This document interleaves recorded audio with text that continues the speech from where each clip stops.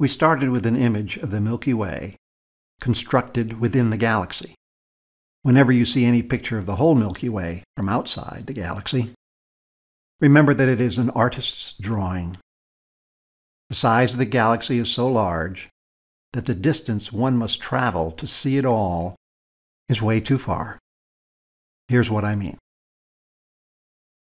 If we assume that our field of view is 140 degrees, we can use trigonometry to find the distance to a point where such a picture could be taken.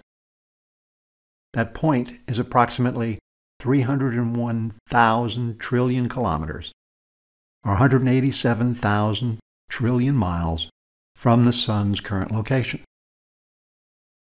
Voyager 1 left on its journey in 1977 and is traveling at 61,000 kilometers per hour, or 38,000 miles per hour.